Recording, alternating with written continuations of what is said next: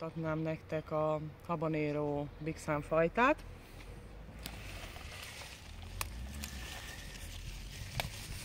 Nagy termései vannak, habanéróla jellemző jegyekkel.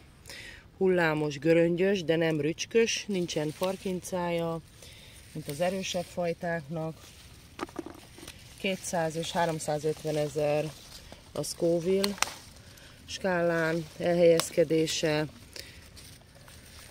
5-6 centis terméseket is tud nevelni. Először a gyümölcsös ízvilágot érezzük, aztán a csípőségét, vagyis a erősségét. Ez a növény egyébként Afrikából származik, ott nemesítették ki. Egy nagyon könnyen átteleltethető habanéró fajtáról beszélünk.